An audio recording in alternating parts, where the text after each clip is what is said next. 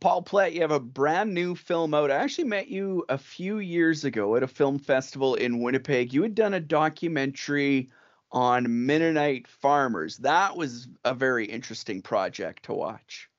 Oh yeah, yeah. It was. That's a Seven Points on Earth. Yeah, that's another Mennonite. I, I'm I'm all about making Mennonite movies, so that's oh. another one. Yeah.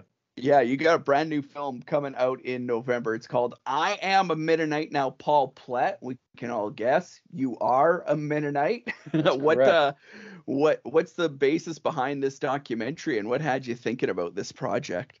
Um, well, I mean, it's good that you brought up actually the Seven Points on Earth, the farming project. I I uh yeah, I'm a Mennonite, born and raised. Uh, I actually grew up overseas. Uh, my folks worked for Mennonite Central Committee, MCC. Uh, grew up in, in Africa, and and I've always kind of connected to my to my Mennonite heritage, but but I've never I've never kind of explored it fully. And when I made that Seven Points on Earth project, it was exploring the the lives of seven Mennonite farmers around the world. Um, and it got me thinking about my own story a little bit. And I thought, well, how do I, what's my connection here? How do I play into all this? So so I decided to kind of embark on a journey, and and it ended up kind of becoming this documentary, I Am a Mennonite, where I explore my own Mennonite roots and my own Mennonite identity.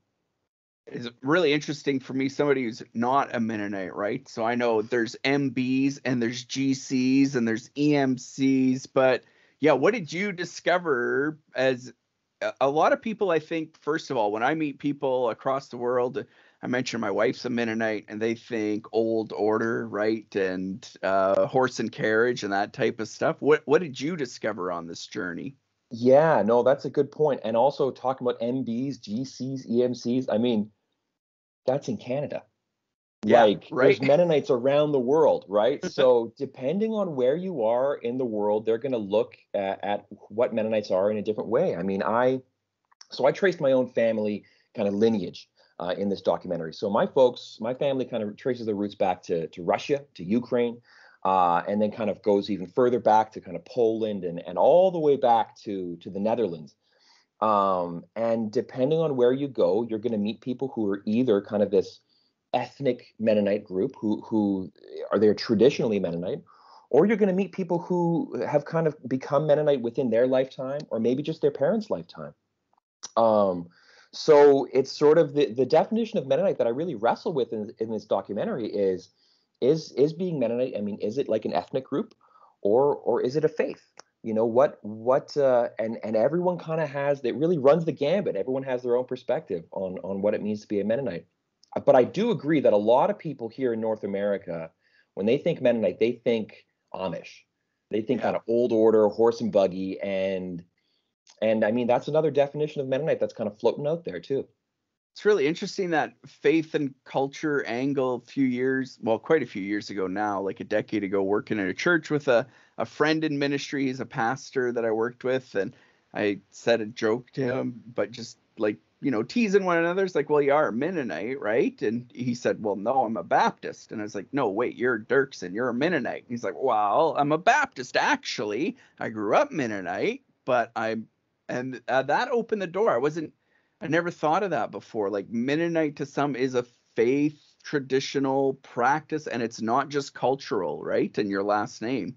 That's exactly right. Yeah, and when you live in a in a province like Manitoba, uh, or or a place where there's a lot of Mennonites who kind of have these sort of quote unquote Mennonite last names, I mean, you're going to really run into that where where a lot of people, I mean, Mennonite, that's that's the food you eat that's uh, that's the jokes you make. That's that's the town that you're from. You're from a Mennonite town. Whether or not you go to church or or that's sort of a, a part of being Mennonite is is kind of secondary. Um, so yeah, that's a real it's a real conversation to be had. I know in uh, Africa actually, like there's a huge Mennonite community there, isn't there? There is, yeah, there is a huge Mennonite community in in Africa. I mean, I think I don't know what the numbers are now, but I believe that there's more Mennonites in the Congo, in the DRC, the Democratic Republic of Congo, than there are in uh, anywhere else in the world. So, I mean, if we're talking about what it means to be a Mennonite, maybe maybe it's maybe it, it has more to do with kind of the African perspective than it does with with kind of the North American perspective. That's talking about the faith group then. Right. Though, I mean, that being said, there are Mennonites who live in the DRC who are third generation Mennonites. I mean, their their great grandparents were were Mennonites. So, I mean, what at what point does that become kind of your your ethnic group as well, right? Right. Yeah. Totally. That's really interesting. Uh, for you, what are you hoping people take away from this film then? Well, that's a, that's a, that's another good question. I mean, for me, for me, it was an exploration of of again like my own identity and and, and my own kind of uh, my roots. But I think that I think that on the one hand, there's sort of this historical story. There, there's talking about about uh, who the Mennonites were, kind of where we came from as a as a faith group, and how that ethnic group sort of formed. I mean, it formed uh, because this particular group of, of believers they happened to move together and they happened to live in community for generations upon generations. That's sort of how the ethnic group kind of formed. Um, so on the one hand, we're talking about that that historical story, and I think that if people want to learn more about who the Mennonites are and where does that historical story come from, that that's important. I think more importantly for me, it, it, it's talking about the faith journey. Um, and what does that mean? I mean, uh, I had a great opportunity and excuse to explore my own faith, wrestle with my own faith, um, meet Mennonites who share my opinion, who who maybe disagree with me, and and learn from that. And and I think more the most broad thing that I would love people to learn about is is just who who the Mennonites are. What is this? This is a, a great community of of believers, a great community of people, and and to maybe get more of a, a, sense of perspective. Um, I think a lot of folks, again, we come back to sort of met people thinking about Mennonites being kind of this Amish horse and buggy group. Um, that's okay. It's okay to have that perspective. But if you want to learn a little bit more about who the Mennonites are, I mean, uh, this is a great documentary to maybe maybe hope hope ha- help you kind of expand that perspective a little bit. Uh, tell us about the film, how we can watch it and get our hands on a copy. Yeah, it's. I mean, right now it is available for pre-order on iTunes. So if you want to kind of get there first, you can uh, go up and look it up on iTunes, and you can pre-order it. Um, other than that, it's going to be released on November 2nd. That's our big release, and it's going to be available anywhere you rent or buy movies. It's going to be there. Uh, well, where did you find the best borscht in your travels?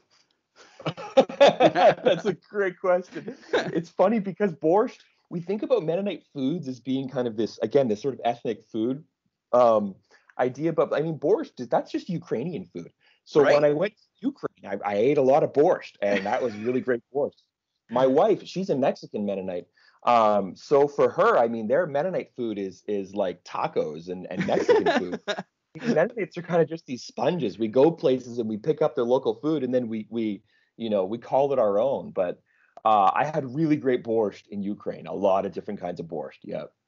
Right on. Well, I've seen the trailer. It looks amazing. I've seen some of your work before too. So really looking forward to catching I Am a Mennonite. Thanks so much, Paul.